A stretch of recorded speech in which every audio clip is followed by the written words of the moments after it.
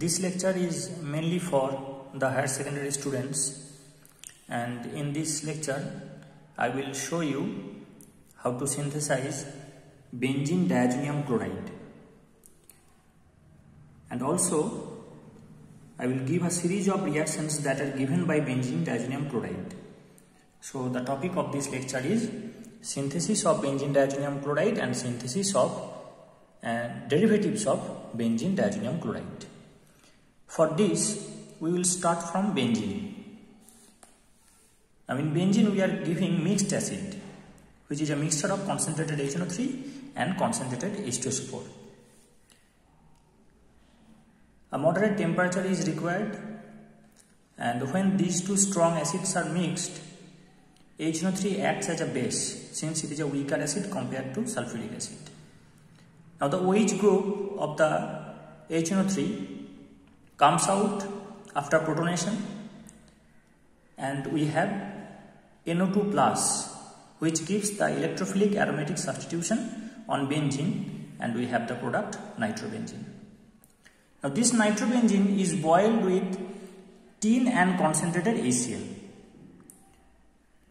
It is a powerful reducing agent and nitrobenzene gets reduced to aniline. This aniline is treated with nitrous acid.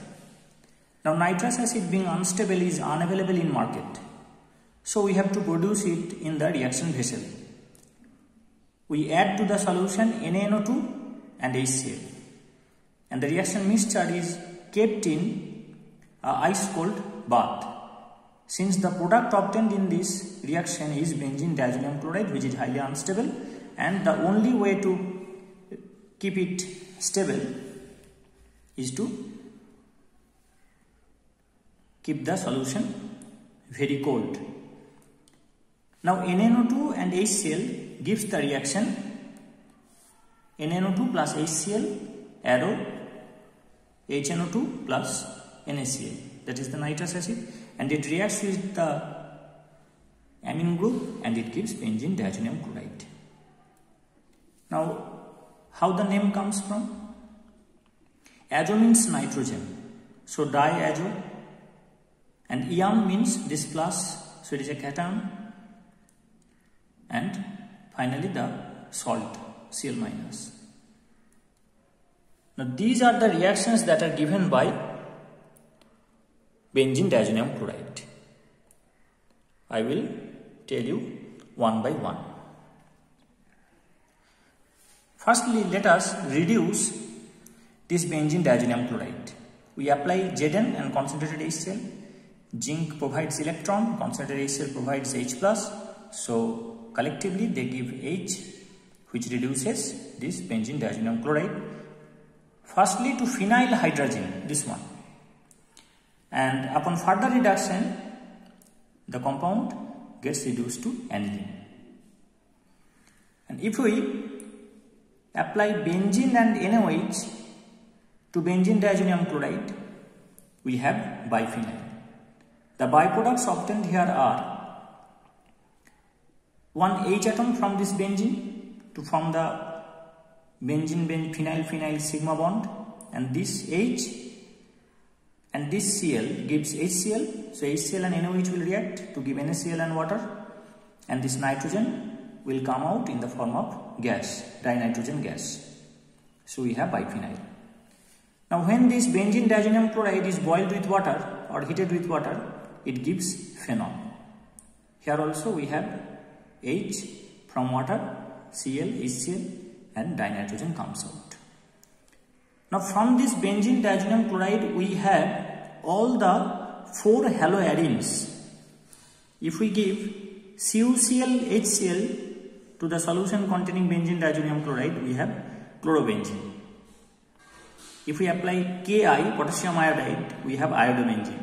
If we apply CuBr HBr we have bromobenzene.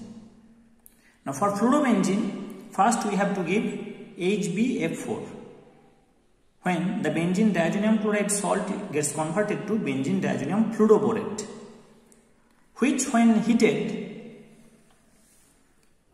BF3 comes out, dinitrogen comes out and one fluorine left and it gives fluorobenzene. So all the four haloarenes can be obtained from this single compound. Now another reaction, if we apply CuCN KCN, then we have cyanobenzene. There are other names for this compound, benzonitrile phenylcyanide. Now after giving HBF4, we have benzene diazonium fluoroborate. If we heat this with copper dust and sodium nitrite, nitrite, then we have nitrobenzene.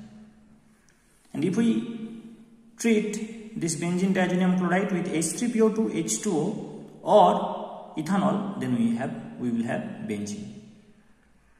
Now come the coupling reaction. This molecule also behaves as an electrophile. However it is weak due to this resonance with the adjacent nitrogen atom now we take beta naphthol this one is naphthalene and if we have OH here at the beta position at the position number 2 then it will be beta naphthol and we are making it alkaline applying NaOH so we will have O minus Na plus. So it is alkaline beta naphthol now we are doing this to make the ring active due to +R effect of this O minus since the electrophile is weak the coupling will not occur or will occur poorly if we do not activate it by making it alkaline. Now we also need the cold condition here. Now when these two reagents are coupled, we have the substitution at the alpha position. So this N comes here, bond N, double bond N, then double bond N, then the phenyl ring. It forms the azo dye. Why azo dye? Beta naphthol is colorless. Benzene diazonium chloride is colorless. But when they combine, they give the sufficient space to the electron to form a particle in a box so that the energy gap corresponds to the VIBGYOR, the visible light. We will show it recently uh, in the upcoming videos that how color uh, comes, how visible color come in some compounds. And this color comes due to the linkage with the nitrogen atom, linkage through the nitrogen atom. So it is azo dye. Also if we take the alkaline alpha naphthol, that is the phenolic OH is at the alpha position, then the substitution occurs at the para position, that is at the position number 4.